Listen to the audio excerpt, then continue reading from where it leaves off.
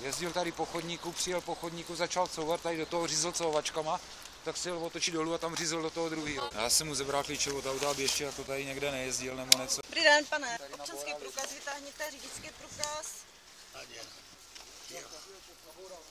Požil jste alkohol před jízdou? Ne, jsem nakupovat.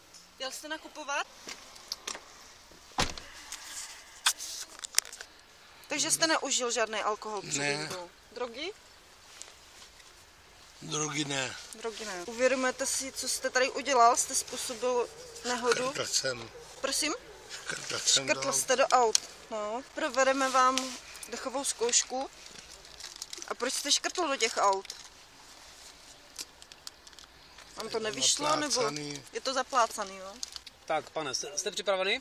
Náhostek si dáte do úst, jo, a jak vám řeknu, tak budete foukat silně a budete fou- foukat tak dlouho, než vám řeknu, jo? Než skončíte. Jo? Tak, můžete, já- to podržím, jo? Tak, můžete. A pořádně se nadechněte a foukněte, foukejte. Foukejte, pořád, Pořádně, pořád, pořád, ještě, ještě, ještě. ještě, ještě, foukejte. Ještě, pořád. zkuste. Dobrý? Ještě, ještě, ještě, pojďte. Hm, tak nic, ještě. ještě Mám ještě, no. Tak ještě jednou, pane, jo? Nadechněte se a foukejte. Ještě Pořádně, foukejte, pořádně, ještě, ještě foukejte. pořádně. Vydržte ještě. Dobrý. Hm, ten malý objev výdechu. Můžeme? Tak. A pořádně po- nadechnout, až budete připravený, tak nám řeknete.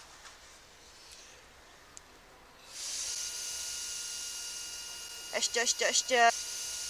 Ještě to vytlačte. Dobrý, dobrý.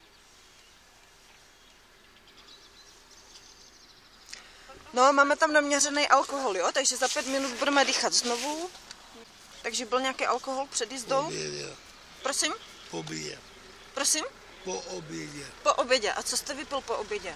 Dvě deci vína. Dvě deci vína. A potom? Nic.